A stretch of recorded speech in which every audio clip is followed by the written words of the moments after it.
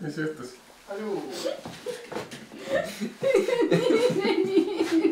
kas see pidigi lahti käima või?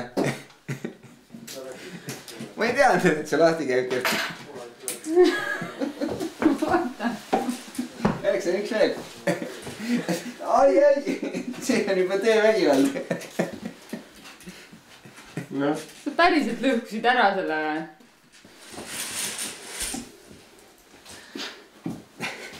mida sa tunned praegu?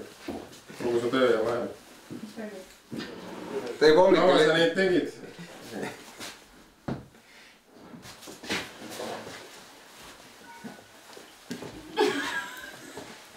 ¿Por qué?